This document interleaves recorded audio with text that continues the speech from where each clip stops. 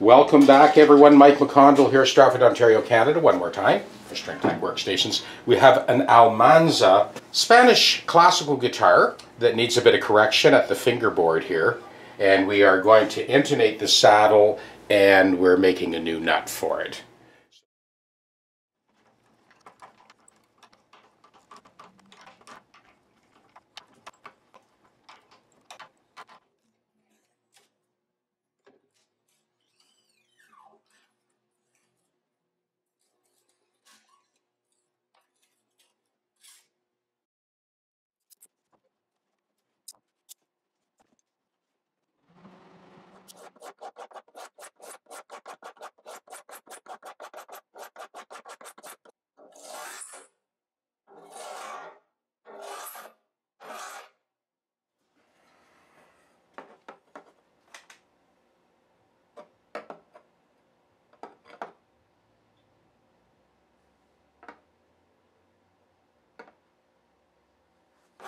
Okay, we just verified that with the straight edge and this is now perfectly level. Most of the issue on this guitar was on the bass side and uh, that's now leveled. So now we'll recrown and finish this fret dress.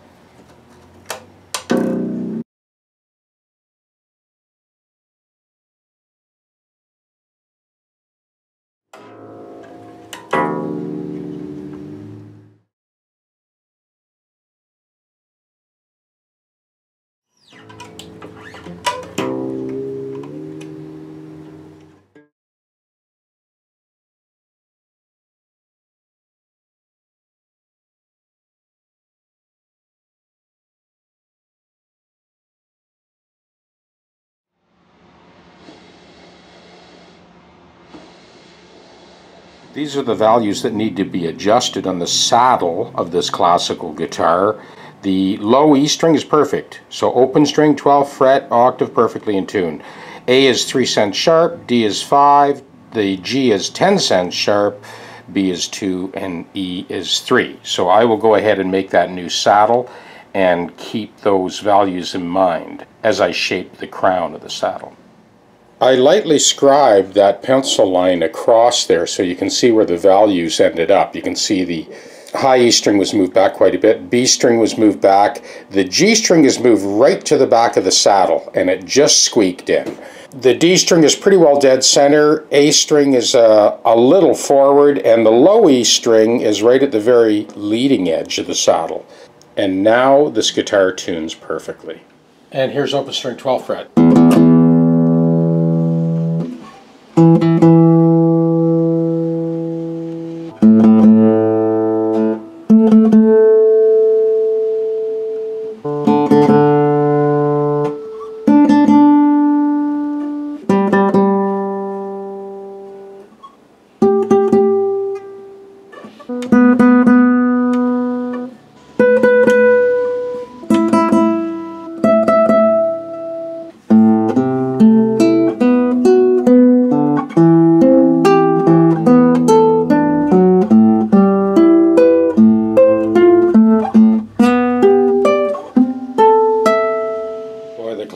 Guitar is so much more forgiving.